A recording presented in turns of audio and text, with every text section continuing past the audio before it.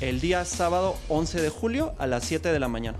Es una carrera campo traviesa en la que se encuentran en esta ocasión 15 obstáculos que retan al máximo las capacidades. Por ejemplo, tenemos escalar el ambiente natural, escalar una cascada, también tenemos pecho a tierra con púas encima. Tenemos dos categorías, la categoría adultos que tiene rama varonil y femenil, el costo es de 250 pesos y en 100 pesos para menores. La salida y meta va a ser en la entrada de los filtros. En el mismo lugar se va a plantear un circuito. Primero pasan los 15 obstáculos y luego tienen una carrera atlética de 2 kilómetros en campo traviesa.